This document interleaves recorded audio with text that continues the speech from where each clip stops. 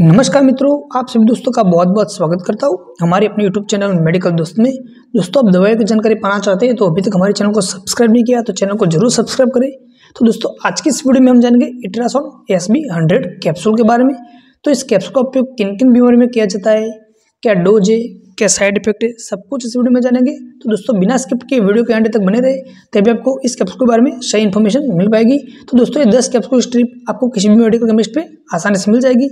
MRP की बात की जाए तो एक सौ चालीस रुपया इस कैप्सूल का एमआरपी है और इसमें सॉल्ट मिलाया गया है इट्राकोनाजोल हंड्रेड एम इसमें सॉल्ट मिलाया गया है और इस दवा को मार्केट करता है इन्यूसन फार्मास्यूटिकल प्राइवेट लिमिटेड द्वारा मार्केट किया जाता है।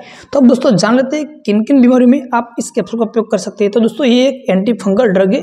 इस दवा का उपयोग अगर आपको दांत, खास, खुजली की समस्या है, फफूंदी संक्रमण हो गया है जांकों के बीच में अगर आपको फंगल इन्फेक्शन है, हड्डियों का संक्रमण, नाखून में फंगल इन्फेक्शन है बगल में आपको फंगल इन्फेक्शन हो गया है यून में फंगल इन्फेक्शन की समस्या है पेनिस में फंगल इन्फेक्शन है रिंग वॉर्म की समस्या है। तो दोस्तों, ऐसी कंडीशन में इस कैप्सूल का उपयोग किया जाता है। तो अब जान लेते हैं डोज के बारे में। तो दोस्तों, इस कैप्सूल का डोज रहता है, एक बड़े व्यक्ति को एक कैप्सूल सुबह और एक कैप्सूल शाम को खाना खाने के बाद लेना है।